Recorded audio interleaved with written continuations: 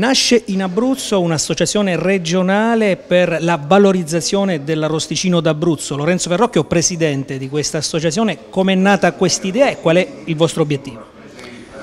L'idea direi che eh, risponde ad una necessità strategica di questo settore della produzione di arrosticini che eh, è proprio un settore economico con migliaia di addetti, un mercato che stabilmente tra diretto e indotto è ben oltre il miliardo di euro l'anno quindi non è più un gioco goliardico da sabato sera, l'arrosticino è una grande opportunità per questo territorio, lo diciamo da anni,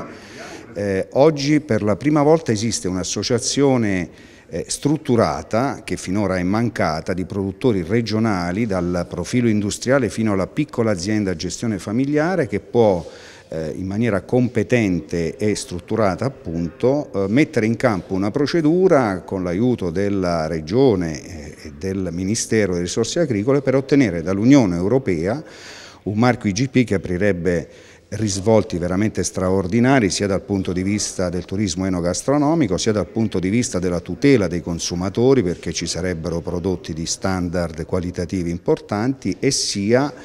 per l'immagine di questo territorio che indubbiamente ha bisogno di essere promosso meglio in Italia e all'estero. Rosicino è un po' il simbolo della nostra regione. È il simbolo della nostra tradizione agropastorale e come si dice è un prodotto mitizzato, è un prodotto della memoria della nostra popolazione, della cultura alimentare povera del territorio